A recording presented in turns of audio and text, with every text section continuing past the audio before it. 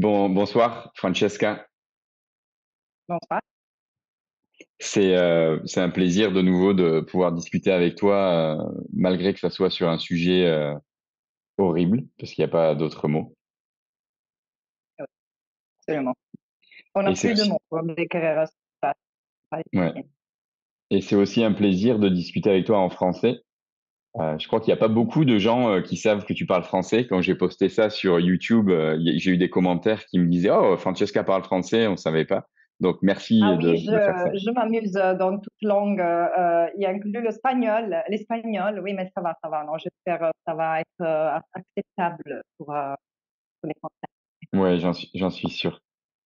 Donc, je voulais évidemment parler de ce qui se passe à, à Gaza depuis maintenant, c'est quoi, dix, dix mois, dix mois, bientôt 11. Euh, ça me paraît fou, rien, que- rien que dire ça, ça me paraît complètement fou.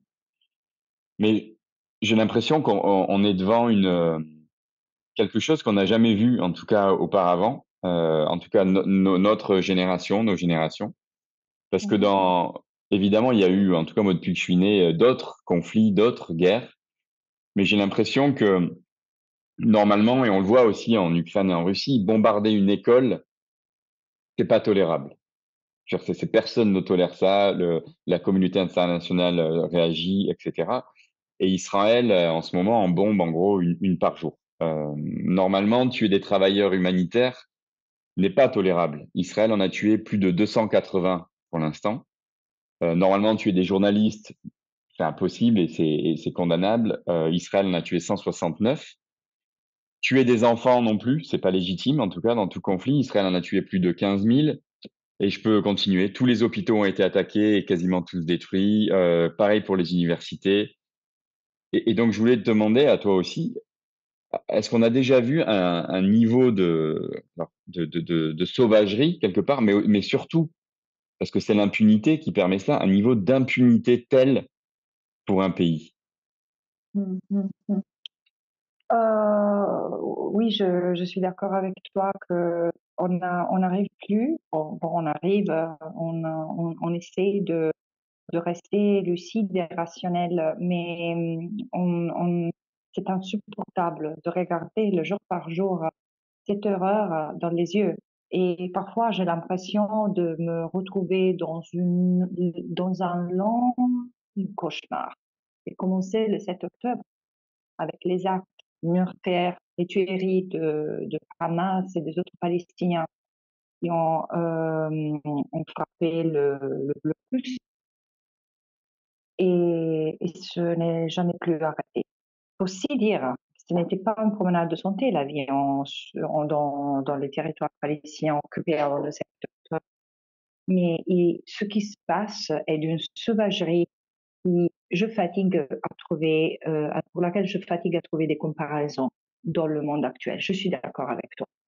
Et ce qui est frappant, c'est qu'il s'agit d'Israël que tout le monde considère un État démocratique. Moi, j'ai toujours eu euh, des critiques à cette qualification euh, sans, disons, sans contextualisation. Parce que je dis, comment on peut parler de démocratie ici, de démocratie, on parle de façon substantive et pas simplement d'un processus électoral, d'un vote. Mais, mais, même là, il y a 5 millions de Palestiniens qui sont la, dans la juridiction israélienne en tant que sujets, sans, sans citoyenneté, sans vote, sans droit. Et sans cela de Gaza, la Cisjordanie et Jérusalem. Mais quand même, il y a un système de, il y avait déjà un système de, de, de, de discrimination, de ségrégation et tout. De toutes les façons, quand il y a des actes criminels qui peuvent être commis par l'exécutif, par le gouvernement. Dans une, démocratie, il y a des mécanismes de, contrôle, on dit de check and balance. Il y a le Parlement qui intervient, il y a le judiciaire. Et si rien marche au niveau institutionnel, il y a normalement le peuple qui se révolte. Et ici, rien. Bon, c'est vrai aussi qu'il y a un tout petit peu d'Israéliens et d'Israéliennes qui, voient dans les yeux la même monstruosité que nous on regarde tous les jours et la reconnaissent. Ils, le disent. Il s'agit d'un génocide. Mais c'est ça, le fait que rien de ce qui devait prévenir cette erreur dans le, système israélien n'a pas marché. Et bien sûr, c'est l'impunité euh, euh dont Israël euh, bénéficie un niveau international. Mais le, bien sûr, il y a eu d'autres actes de barbarisme horrible, d'autres génocides dans le monde. Mais la haine, la haine que je vois euh, caractériser cette attaque contre tous les Palestiniens, surtout ceux-là à Gaza, mais contre tous les Palestiniens de la part des Israéliens, ça n'a pas beaucoup de comparaison de l'histoire de l'histoire récente. Voilà.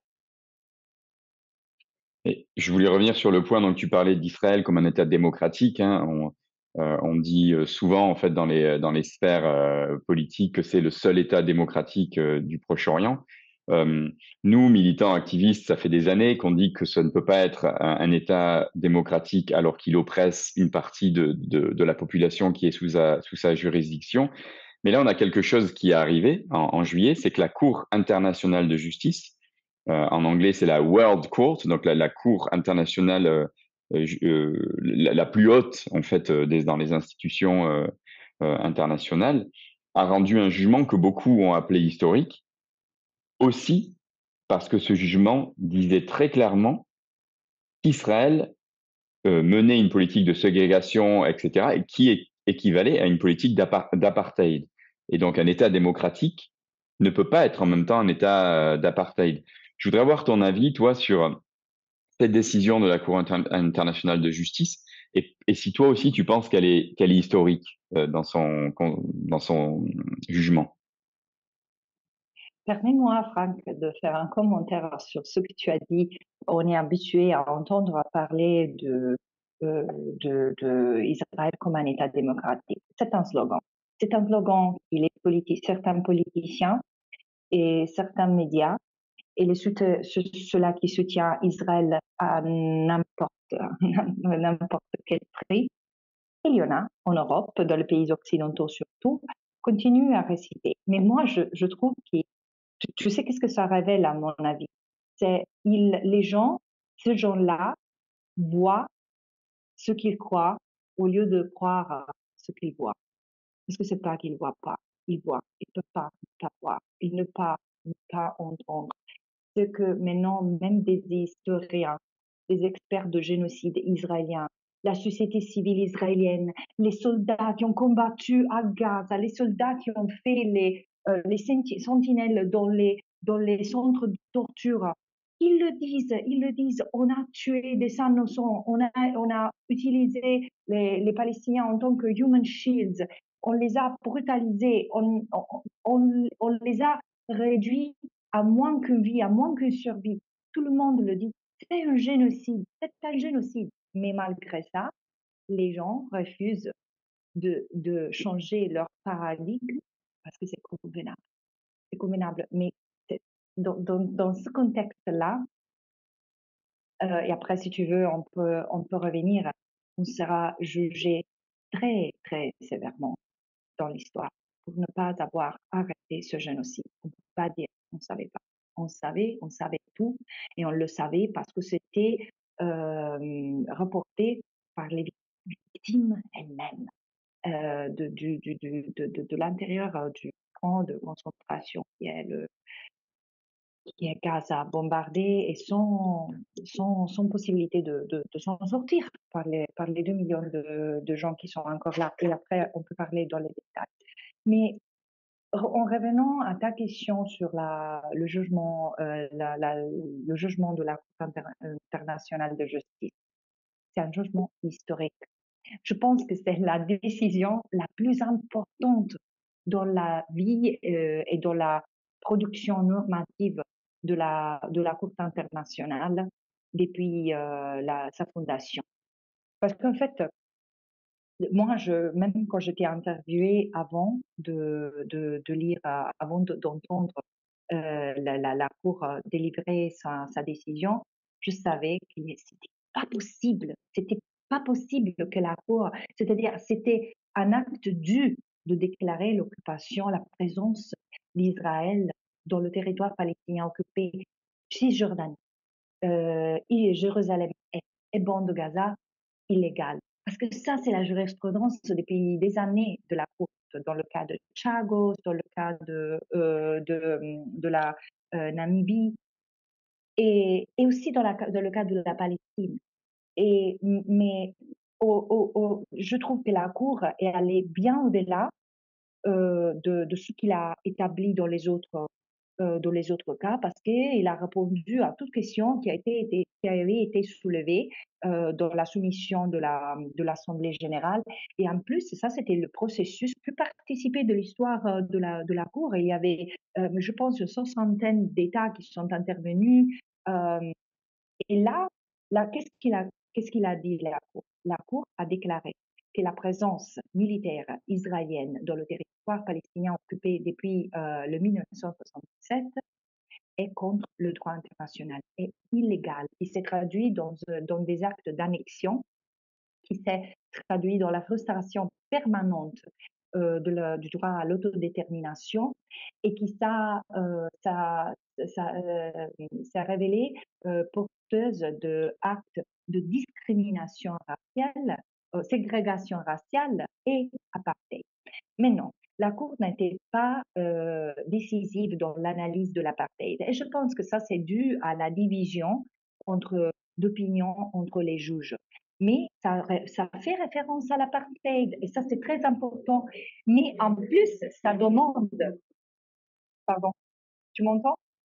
Ça demande, euh, ça impose à Israël une obligation de retirer l'occupation, soit militaire, soit civile, de euh, comment dire démanteler les démanteler les colonies. Ouais, ouais, ouais.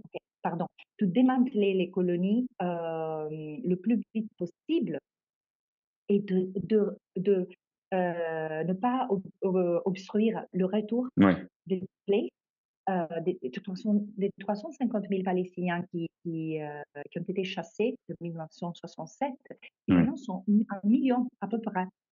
Et, et de offrir des réparations pour, les, pour ceux qui ont souffert, mmh. les Palestiniens, depuis le 1967. C'est immense, immense. Là, il y a des, des observateurs, des, des, gens qui ont commenté, oui, mais quand même, euh, c'est une euh, disons, une opinion pas contraignante, euh, c'est pas une vraie décision et alors, euh, bon, on fait avec? Non, parce qu'en fait, comme la cause s'est basée sur le droit, un droit qui est, considéré jus et contraignant en tant que tel, comme la, la prohibition de l'apartheid, la prohibition d'agression, d'annexion, l'obligation de réaliser le droit à l'autodétermination.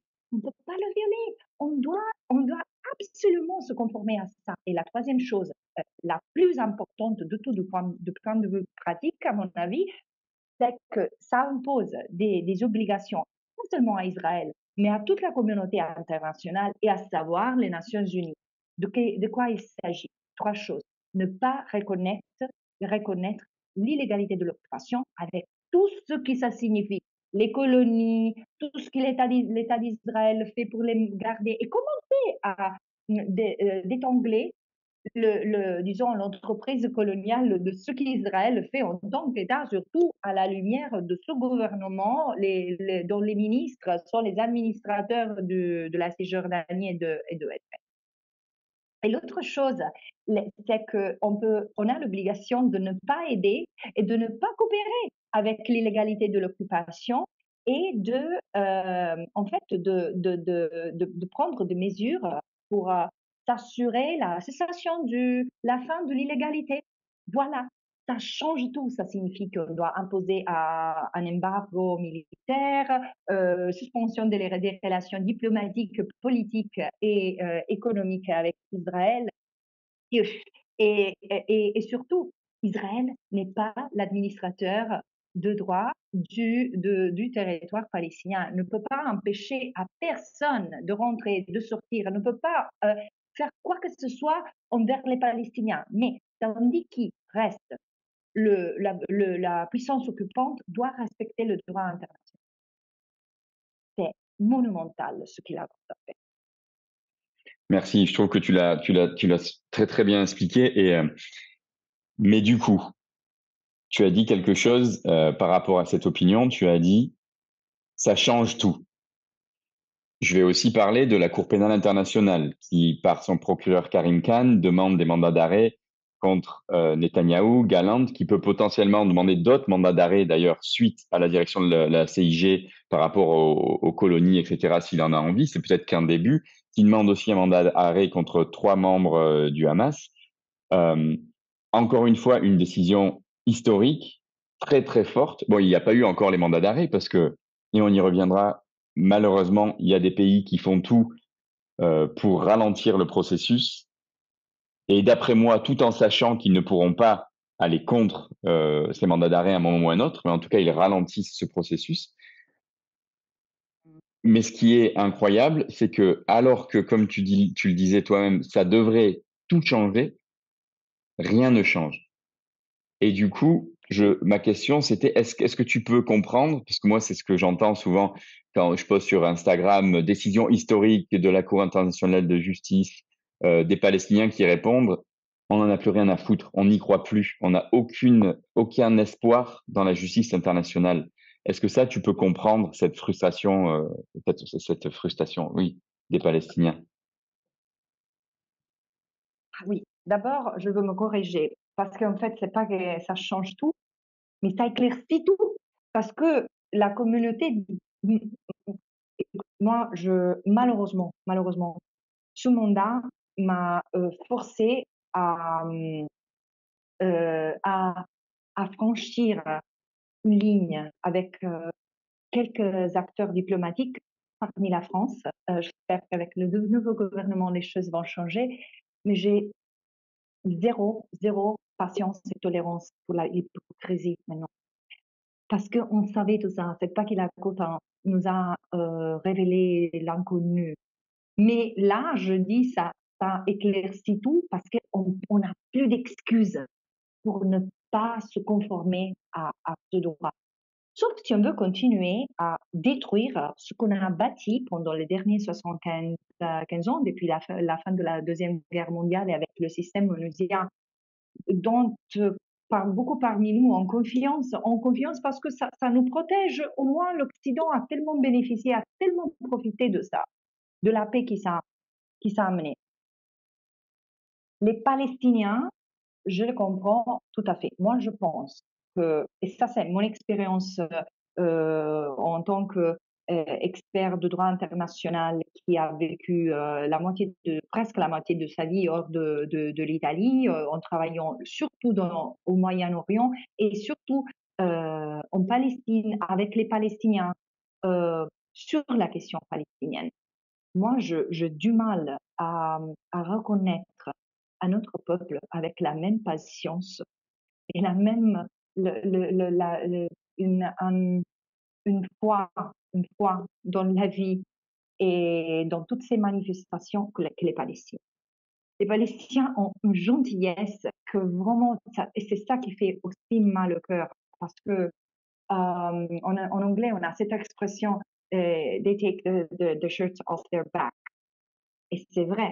Alors, tu, vois, il a vraiment, ça fait 20 ans qu'il s'investit sur toutes les organisations pour les droits de l'homme, sur la justice internationale, qu'il est trahi à toute, à toute occasion. Et la Cour pénale internationale, moi, je, je, je, je décritique envers euh, ce système parce que ça a pris euh, une, une décennie, une décennie pour commencer l'investigation. Et après que l'investigation a commencé, ok, les, les, disons les, les charges que le procureur a demandées contre euh, les, leaders de, je ne parle pas de, des leaders de Hamas, mais des leaders d'Israël, euh, étaient, étaient, très importantes.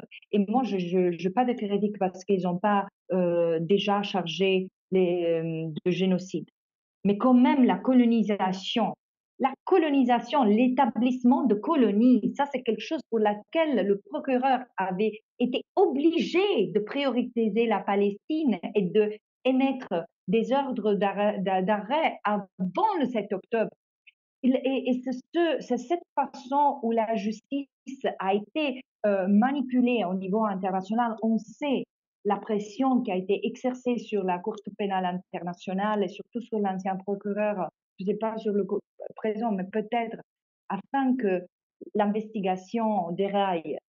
Mais ça me fait mal de voir aujourd'hui ce qui se passe aux Palestiniens. Je le comprends, je comprends tout à fait.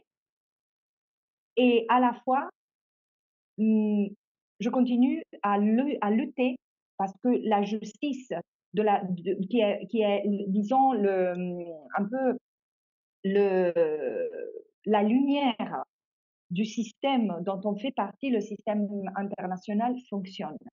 Je ne peux pas accepter que c'est un échec total parce que ça ne sera pas un échec seulement par les Palestiniens, pour les Palestiniens, pour nous tous. Et, il y a encore beaucoup de, quoi s'investir dans, ce monde pour les générations à suivre, pour nos enfants. Oui, je, suis, tout à fait d'accord et en plus, on se, doit pour les Palestiniens de, ne pas baisser les bras, malgré qu'on soit tous un peu effondrés de ce qui se passe et des réponses des derniers dix mois. Mais, euh, et surtout, je voulais te poser la question, en fait, parce que tu as commencé à en parler, à quel point c'est dangereux, ça? Cette presse, cette, si on va, cette nouvelle donne internationale qui dirait un État, entre guillemets, de l'Occident, parce que Israël se considère comme un État euh, occidental, euh, a des droits différents d'un autre État et peut génocider un peuple live on TV et il ne se passera rien.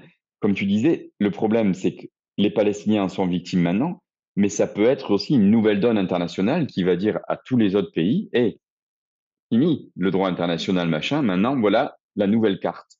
Et ça peut, donc être incroyablement dangereux, tu crois pas? Ouais, écoute, c'est dangereux à tellement de niveaux. Et laisse-moi te dire, c'est dangereux pour les Palestiniens, c'est dangereux pour les Israéliens, c'est dangereux pour les Juifs dans le monde, c'est dangereux pour les libertés fondamentales qui sont, qui sont en crise dans les pays occidentaux qui, euh, qui euh, aiment les invoquer ou, les, ou, se, référer à ces droits, à ces libertés comme la preuve de leur euh, démocratie. Ben, notre démocratie sont en crise si l'accès le, le, est un test pour évaluer la solidité des démocraties. Mais laisse-moi aller par au nord. Moi, je trouve que c'est très dangereux pour les, Palestiniens parce que ils, si, euh, si rien marche, pour eux, le génocide va continuer. Et moi, je vois déjà les signes, je suis en train de, mener une investigation sur ça, je vois déjà les signes oh, oh, euh, de, l'expansion de la traite, euh, pardon, euh, non, pardon, je vois les, signes, les traces de l'expansion de la menace génocidaire hors de Gaza. Et c'est déjà pas mal de temps que ça arrive. Il y a des euh, composantes de les attaques contre les, les, les, Palestiniens qui font vraiment craindre que l'attaque génocidaire ne soit pas limitée seulement à la partie du peuple palestinien à Gaza. Et voilà, c'est ça que je suis en, train de euh, investiguer maintenant. Ça va être couvert euh, euh, dans mon prochain rapport à l'Assemblée générale. C'est dangereux. C'est dangereux pour les Israéliens parce qu'ils ne voient pas la monstruosité dans laquelle ils sont, ils sont entanglés maintenant. C'est dangereux pour les Juifs parce que je vois de plus en plus une critique envers eux à cause de, ce que l'État d'Israël fait. Et, écoute, et moi j'étais toujours hyper clair sur ça. Il y a beaucoup de juifs et de juifs qui ne se reconnaissent pas dans ce qu'Israël fait, qui ne se reconnaissent pas dans ce qu'Israël fait et le critiquent. Et ceux-là sont les premières victimes, surtout en dehors de, la Palestine. En, Allemagne, moi, je, lis, je lisais que cette année, on a enregistré le, chiffre le plus élevé, le numéro le plus élevé d'arrestation de juifs depuis les pages noires de l'histoire allemande. Et, ça, c'est dangereux. Mais c'est aussi dangereux pour les juifs au monde qui soutiennent l'État d'Israël. Moi, je, dis, moi, je, me fâche. Je ne me fâche pas contre les, les, individus qui ont le droit d'aimer Israël en tant qu'ils veulent. Mais la, la, la responsabilité des politiciens, la responsabilité des médias, c'est une autre chose. Et ça, on doit euh, garder des formes de comment dire en français, accountability. Et c'est aussi dangereux, comme je le disais, pour, nos libertés fondamentaux, parce que comme ma collègue Irene Khan euh, l'a bien dit, la crise de Gaza est devenue une crise globale où on a remis en discussion la liberté d'expression, la liberté d'association. Moi, je vois qu'en France, ça, c'est pas une question limitée à la question palestinienne. En Italie aussi, euh, il y a un, retour très dangereux de, quelques idées de, droite qu'on aurait dû mm, euh, mettre vraiment euh, reléguées au passé et jamais plus voir revenir. Mais le fait que maintenant ce soit ces, ceux-là qui portent ces idées de extrême droite qui soutient aussi ce qu'Israël fait. C'est choquant, c'est étonnant, c'est vraiment un bouleversement de, de, de, de, temps et de, la, et de la raison, de, je dis, le bouleversement de euh, logos, ethos et pathos. Et, hum, et, voilà, et on doit revenir à, à, notre, à notre raison d'être, à nos principes, à nos valeurs, à notre sens de vie. J'ai deux dernières questions. Je vais en quel est ton avis là en ce moment sur les, pourparlers pour un cessez-le-feu? Et, une sorte de sous-question, crois-tu vraiment que le, les États-Unis sont un, sont un négociateur ou un, un, médiateur légitime dans cette histoire? Et si tu veux aussi peut-être commenter ce qui se passe en ce moment aux États-Unis avec Joe Biden qui, qui, euh, qui, se, qui sort de la, de la présidentielle, Kamala Harris qui arrive, la euh, Democratic National Convention qui est en train de se passer avec aucune voix palestinienne euh, permis de, de, de permise de s'exprimer. Voilà, qu'est-ce que tu penses de c'est pour parler pour un cessez-le-feu? Moi, entre nous, hein, ça fait des, des mois que je dis il faut arrêter de parler de cessez-le-feu puisqu'il y a d'un feu que d'un côté. De toute façon, c'est plus euh, cessez-le-feu. À la limite, c'est qu'en deux. Mais bon, en tout cas, qu'est-ce que tu en penses? Et euh, vas-y, je te laisse. Je te laisse. Je suis d'accord avec toi un peu. Il faut arrêter de parler de cesser le feu. Il faut parler de cesser le génocide. Cesser les atrocités. Je ne voulais pas les appeler génocide, mais comment on peut appeler une, opération militaire où on a euh, tué plus que 40 000 personnes, et ça, ce sont les données sûres. Mais après, il y a des, des, gens qui estiment qu'il y a quelques 200 000 de, de gens qui vont mourir à cause de indirect, c'est-à-dire pas à cause du feu du conflit, mais pour le manque de médicaments et pour les maladies qui étaient euh, soignables, comme le cancer, les tumeurs. La polio. Euh, hmm. La, polio, c'est une autre histoire, je reviens, mais c'est-à-dire des maladies, des maladies soignables.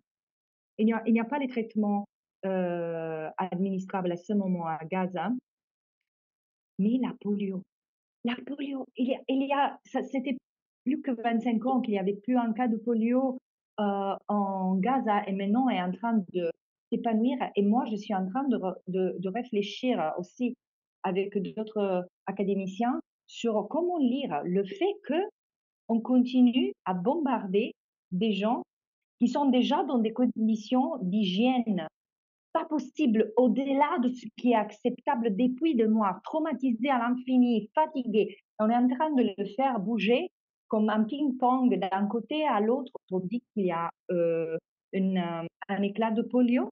Mais c'est clair que ça va s'épanouir encore plus. C'est pour ça que je dis, il y a des gens qui analysent, comme la commission d'enquête sur euh, Israël et Palestine, qui analyse les crimes individuels euh, l'extermination ou bien les crimes de guerre, des crimes contre l'humanité. Mais il faut voir l'intention dans l'union de toute cette conduite. Un crime de guerre peut être un accident, peut être une conséquence pas forcément intentionnelle dans un, dans un conflit, mais ça, ce n'est pas un conflit.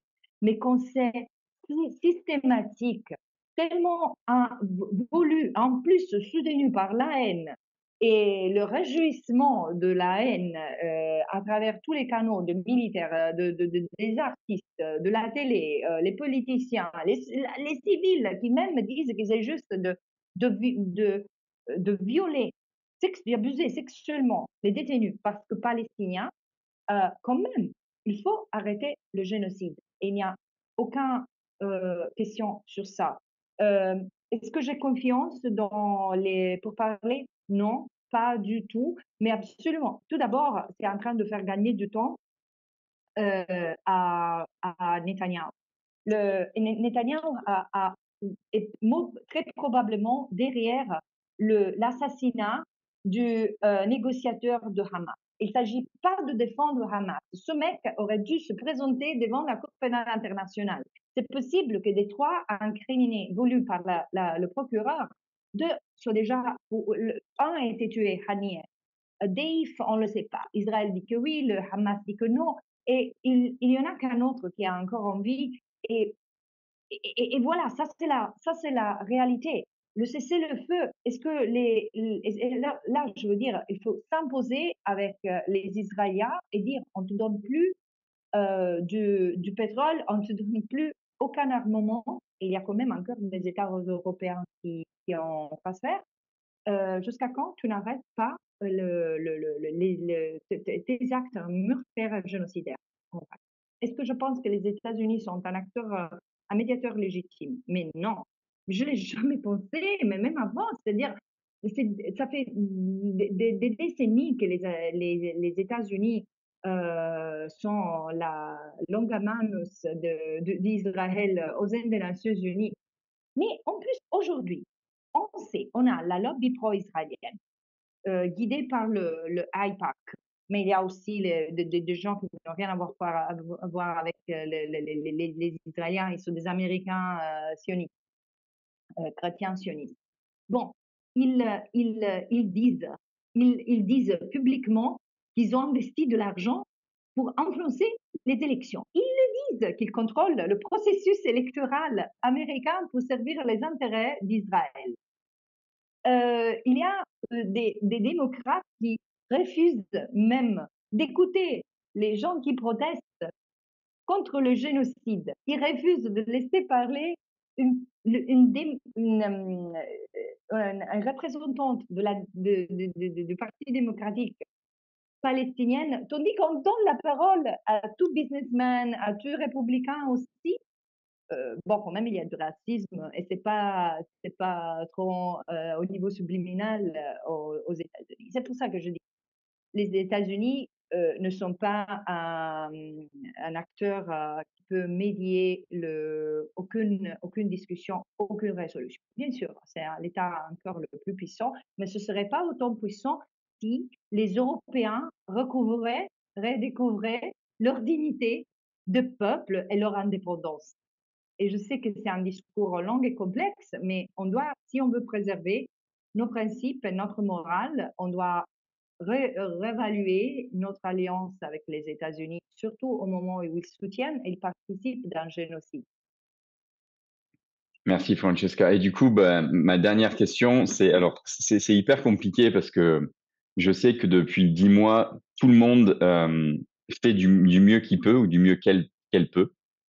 Euh, mais en moi, euh, deep down, comme on dit en anglais, j'ai j'ai quand même cette impression, ce, ressenti que je comprendrais que les Palestiniens nous disent euh, you have you have failed us, vous vous avez échoué. Parce que comme tu dis, on a tous les éléments, on a un génocide en direct et, on aurait on aurait dû faire plus, on aurait pu faire plus, je sais pas. le monde aurait dû s'arrêter d'après moi. Parce que mais du coup, je voulais te demander comment tu penses que l'histoire va se rappeler de tu as un peu parlé ça euh, au début. Comment l'histoire va se rappeler de, ce moment, d'après toi? Et c'est ma dernière question. C'est une question complexe et difficile à répondre. Moi, je, j'espère qu'on va avoir tellement honte, mais tellement honte. Et, et on, va, on doit prendre cette opportunité de faire mieux.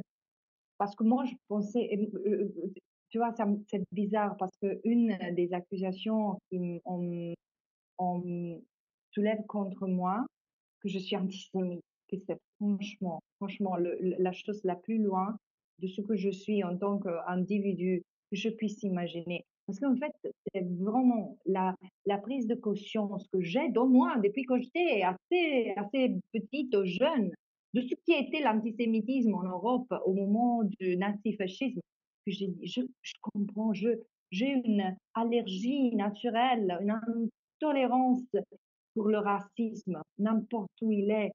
Et c'est pour ça que je dis, la, la, trahison envers le peuple palestinien, c'est aussi la trahison envers le, le Never Again, qui devait être le grand commitment après la Deuxième Guerre mondiale. On, on insulte tous les jours, tous les jours, les victimes de, ces massacres et aussi les, les victimes de d'autres, les victimes de, l'Holocauste, de génocide des, Juifs, le génocide des, euh, des Bosniaques, le génocide des, des, des, Tutsis, toutefois, qu'on ne fait rien pour arrêter le génocide des Palestiniens. Et mais j'espère que cette opportunité, cette, cette injustice, j'ai aussi l'opportunité de, se, de reconnaître que la colonisation, le colonialisme, s'est accompagné le colonialisme de, peuple, de, de dépeuplement euh, s'est accompagné toujours au génocide, à l'élimination des autres. Il y a 500, 500 ans de, de colonialisme, de dépeuplement et génocide dont on, avec euh, lesquels on doit euh, faire, auxquels on doit faire face. On doit se confronter et dépasser en tant qu'occidentaux notre amnésie coloniale. Et la Palestine nous offre cette opportunité parce que c'est encore un cas de colonisation qui continue, qui perdure, euh, comme la euh, Cour de justice internationale d'ailleurs l'a implicitement reconnu. Merci beaucoup, Francesca. Grazie mille. Grazie a te.